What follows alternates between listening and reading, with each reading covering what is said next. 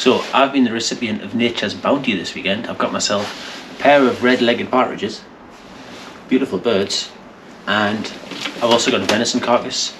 Now what I haven't had in absolutely years is a really good game pie, so I think that's what I fancy making. I'm going to give it a little twist. First I'm going to smoke the partridges, but in order to do that I need to make a fire and get rid of the feathers. Let's crack on.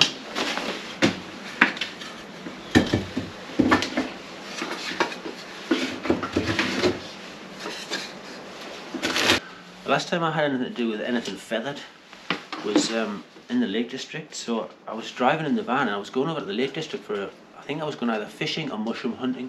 It was autumn time and it was absolutely lashing it down. I mean, it was a really, really wet day. The rain was, it was torrential. Anyway, as I got to Hexham and left, on the, there's a big roundabout just as you head west of Hexham. Um, once I passed that, I saw this guy stand by the side of the road, um, thumbing for a lift. And I'm like, all right, you know, it's really, really bad. Well, that was a bad place to stop, and I thought, yeah, nobody's going to stop from here. So anyway, I picked him up, and I looked at him, he, was a pretty unusual looking guy. I mean, he was wearing flip-flops for a start. Um, anyway, I gave him a lift, he got in the van, and uh, we're chatting away. Uh, turns out he was heading, I think he was going to Carlisle to try and get a lift to go to Manchester or something like that. But basically, he was like an, an old-fashioned gentleman of the highway what you might call like a hobo or a tramp. Somebody that's sort of chosen that lifestyle. Um, and his stories were good crack, man. He was like, he was definitely an unusual fellow. He smelled of cherry brandy, which in this day and age, you, you don't get many people who smell of cherry brandy. So that, that straight away, he was obviously a, a gentleman of culture, you could tell. Anyway, his stories were good crack, and he was talking a lot about the, the bounty of nature, like how, you know, how much the world can provide for you and like how how what a wonderful and rich and abundant country that we lived in. So anyway, basically, just as he's finished saying that, there was a great big smack on the windscreen right where he was sitting. I mean, the both were nearly jumped up with skin. It turns out it was a pheasant had smashed into the windscreen and um, was down by the side of the road. And I'm like, Jesus, here you go. I'm like, come on, let's let, let's have it. And um, I basically I did a U-turn and I says, Larry, put your put your money where your mouth is jump out and get the bounty of nature and let's be on our way. So anyway, we did so. He, he jumped out and he was like, I think he was a bit taken aback. But anyway, I'm thinking, well, look, it's it's a big fat pheasant, and it actually was. Um, and I, I, know it's fresh because it was also the hint. So let's not waste it. Let's not waste the bounty of nature. Um, and I, and I took it, and that night I made a stew from that thing. I had some bacon in the van, and I made a pheasant and bacon stew. And honestly, it's one of the best meals I've ever had. It was so delicious, but also so satisfying as well. So I says to the guy, I'm like, here, look, that's that pheasant, that's your ticket. He says, what do you mean? I says, look, that, that's the universe has just basically paid for your passage for, you know, to Carlisle with me, with this pheasant. So I made the most of it.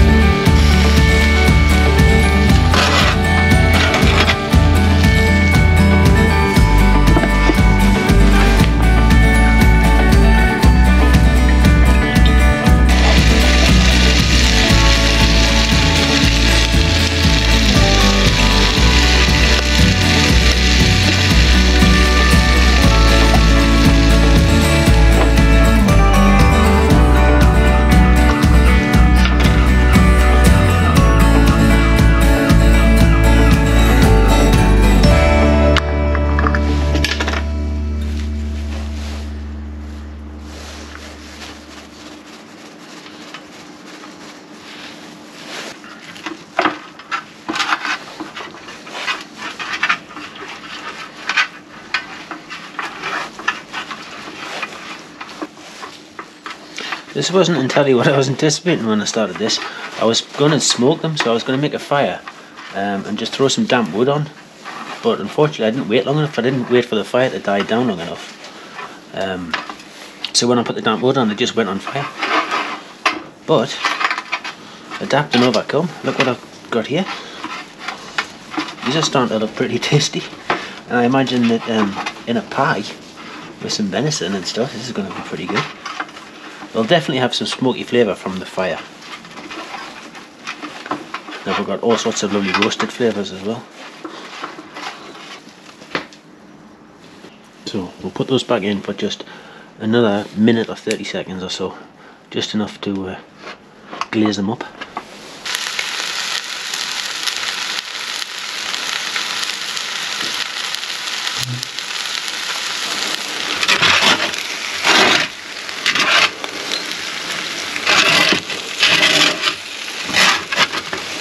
I think that's um, perfect.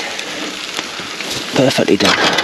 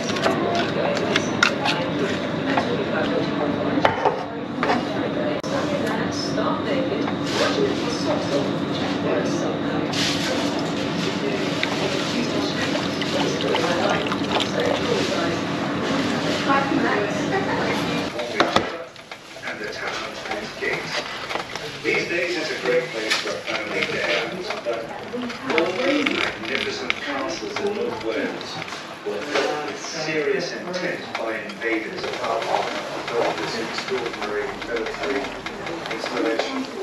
That blockbuster around the first roots for them this tradition of native Welsh good on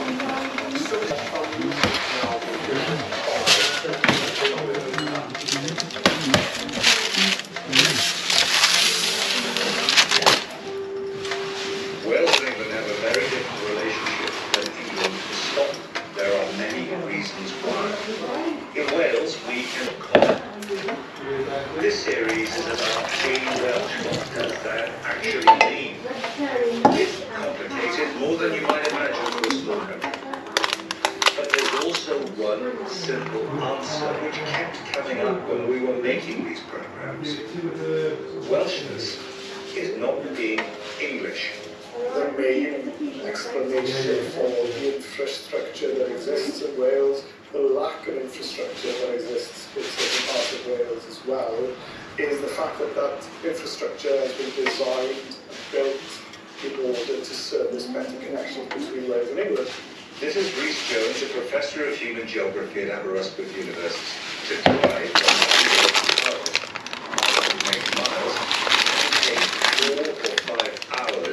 a pretty windy road. Wales does have fast roads and motorways. We have in Wales around needed in order to create a greater identity to hold A5 that was there to connect London with Holyhead, so to connect onwards with London. We have road